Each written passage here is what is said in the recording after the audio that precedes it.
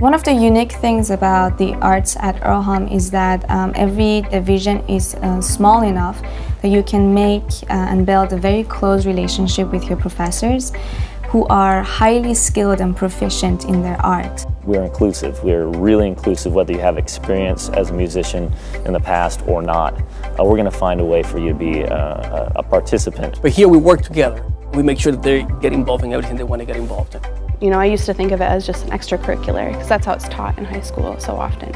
Um, and then coming here, I realized that there's so many layers to it all. Being part of the, uh, the choir at Earlham is incredibly uh, fulfilling. Um, not, not only do you get to work on yourself personally as a singer, but as a group. It's, uh, it's a completely different experience. So we now have this great building, the Center for Visual and Performing Arts, where all of the arts live in one neighborhood together. I would say as a music major, one of the things I really love about studying music here is this beautifully designed building that we have.